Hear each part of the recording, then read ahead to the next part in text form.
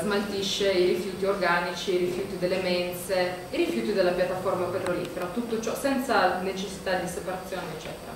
Così noi abbiamo uh, uh, la, sì, come funziona questa tecnologia. Uh, io qua chiuderei alle vostre domande. Grazie.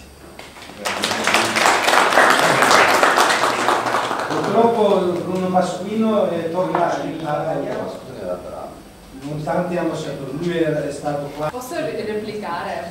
Eh, in realtà lui eh, sì, è una splendida persona innanzitutto, è italiano nel mondo, c'è il reparto del Kazakistan, la nostra azienda eh, ha fatto più